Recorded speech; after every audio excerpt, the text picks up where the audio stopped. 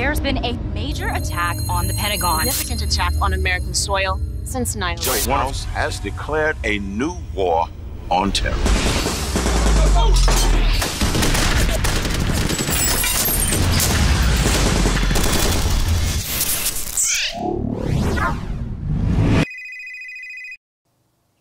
Detective Walker. What's going on? Mass shooting at a downtown hotel lobby. Private Jack Simon served two tours in Iraq. I did not kill those people. Homeland Security went in on this guy. It's not our case anymore.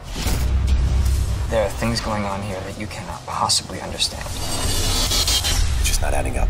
If you want the truth, I'll be by the fountain.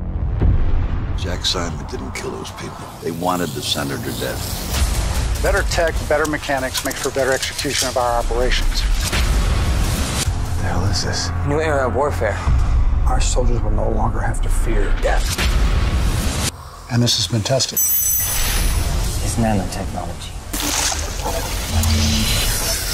Don't come looking for me, or you're going to be risking both of our lives. This ain't right. Let it go. You wake up one day and all of a sudden you have the power to cure all diseases and end wars. But the price for this is you have to kill. Could you? You're just a murderer. There is no murder in war.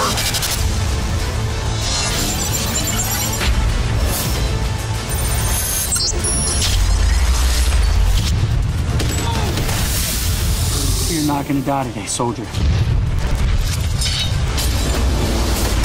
Yeah, I was just going to report. I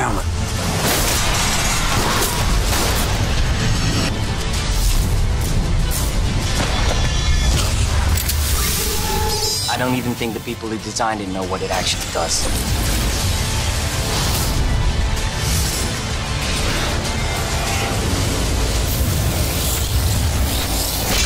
There's no such thing as murder in war, soldier.